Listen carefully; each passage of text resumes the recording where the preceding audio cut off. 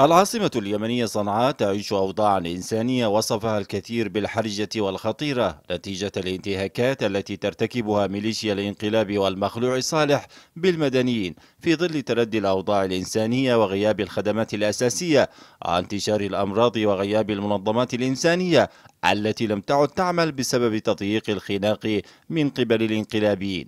تحولت العاصمة صنعاء إلى تكنات عسكرية ونقاط تفتيش لابتزاز المارة واعتقالهم ونهب ممتلكاتهم.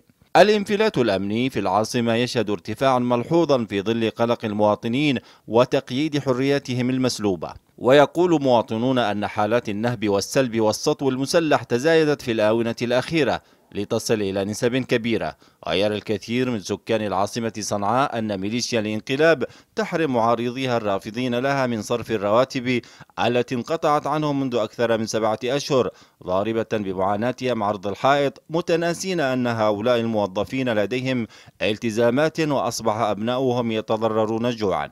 وتزايدت فرض الأتاوات التي تفرضها الميليشيا على أصحاب المحلات التجارية وضيقت الخناق عليهم ورحل الكثير من رجال المال والأعمال وأغلقت العديد من المؤسسات التجارية بينما يعيش تحالف الانقلاب خلافات حادة تزايدت حدتها مؤخرا ويعد الصراع على الموارد واقتسام المناصب هو أكثر احتداما واتساع رقعة الخلاف كان آخرها أموال المؤسسة العامة للتأمينات الحكومية بعد قرار الميليشيا بتعيين رئيس جديد للهيئة من الموالين لها بديلا عن رئيسها الموالي للمخلوع صالح. واتهمت الحكومة الشرعية طرفي الانقلاب بالسعي لنهب أموال التأمينات التي بلغت أكثر من 200 مليون دولار وأرصدة نقدية في حسابات الهيئة في العاصمة صنعاء وتسخيرها لما يسمى بمجهودها الحربي.